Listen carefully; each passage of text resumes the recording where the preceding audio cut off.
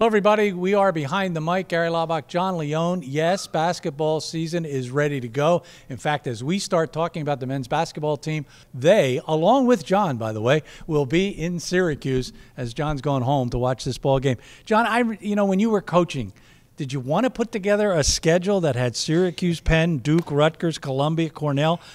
Or, or is this just masochism as at its worst?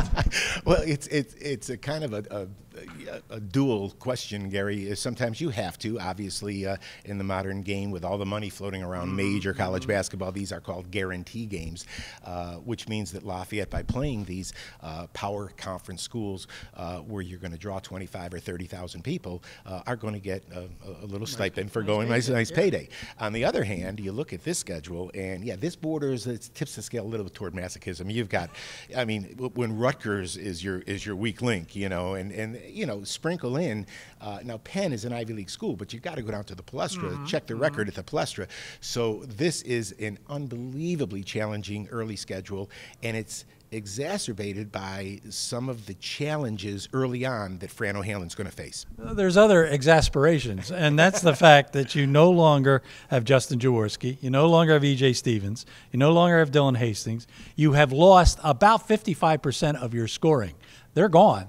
Uh, so those are numbers that are going to be very difficult to replace. And, and, and the issue is, is twofold. Not only are those the guys you lost, they're all backcourt, uh, except for Dylan. They're backcourt players. Mm-hmm.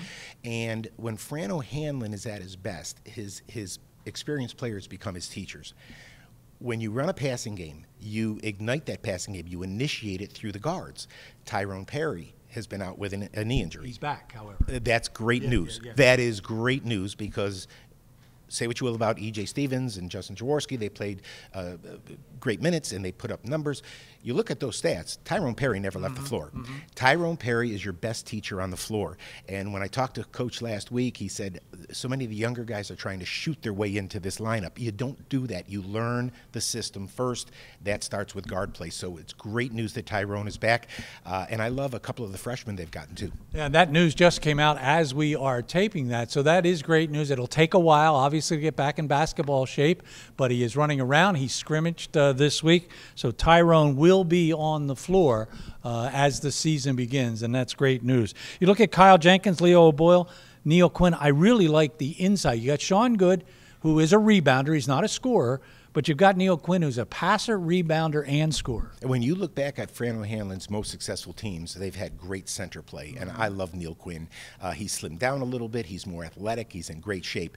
Uh, I think Kyle Jenkins has been flying a little bit under the radar by uh, uh by Kyle Jenkins standards. Mm-hmm. I think he's about to explode. We've seen Leo O'Boyle shoot the basketball. The best news is these guys have been in the system. They know the system, and with Tyrone back at the point guard spot, that allows time for young guys like C.J. Tompkins and and Devin Hines. Devin Hines is a find. I think uh, he could easily play at a level higher, uh, but he loved the school. He's a, a terrific student. Uh, he feels like he's found the right place. So look for him to uh, uh, to, to, to, contribute. Uh, Fran likes to bring those freshmen along slowly that might be accelerated in his case. What you also have to like, if you're a player on the Lafayette roster, you're going to see playing time. Fran gets pretty much everybody out on the floor. So even though he has Kyle Jenkins, Leo Boyle, Neil Quinn, they're going to be the foundation, but just about everybody's going to get an opportunity against the likes of Syracuse, Penn, Duke. Yeah, well, no one's going to play 40 minutes, mm-hmm. and and uh, that that brings us to Sean Good, who is a, a, a leader, a senior, uh, a, a, guy who knows how to play in Fran's system. So he's going to be a key element as well. Chris uh, is is is an, a newcomer uh, who who brings great size mm-hmm. and good shooting mm-hmm. ability, uh, and and Fran's got some uh, some quality depth. Uh, again, I, I think given the way Fran uses uses his bench and substitutes and rotates players, uh, he'll have his core group of seven or eight guys. But I'll tell you, the success of this team may well depend on how those eight, nine, and tenth players contribute in key moments. It certainly looks like, and we don't, we haven't said this very often about Lafayette basketball, but it looks like the inside paint area could be their strength. Now, if they can find somebody to shoot, and Leo Boyle is certainly capable of that. Somebody to hit those threes because that's critical to Fran's offense. It's critical to making the inside players better. And if I could just add one more element, last night Syracuse played Le Moyne College in an exhibition game. Mm-hmm. Le Moyne, a Division two school. This is a very uncharacteristic Syracuse basketball team.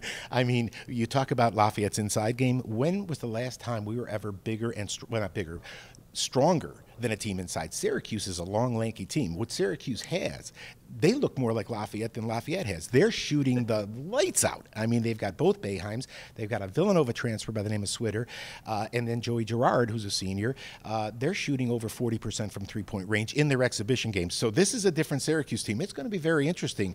They've got to handle Neil Quinn on the inside. He outweighs anybody Syracuse puts on the floor by 20 pounds. Well, you'll be up there. You can help coach a little bit, maybe, uh, as you watch that unfold.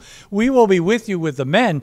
Uh, not all that often. We'll have Cornell. That'll be our opening game on the Lafayette Sports Network, November 12th. But five of the first six games for Lafayette are away games. John and I are both looking forward to both the men and the women's basketball schedule for 21 22. And we know, or you will, of course, join us on the Lafayette Sports Network. That's the men's basketball team. Just a preview. Thanks to John. I'm Gary Laubach. Thanks for joining us.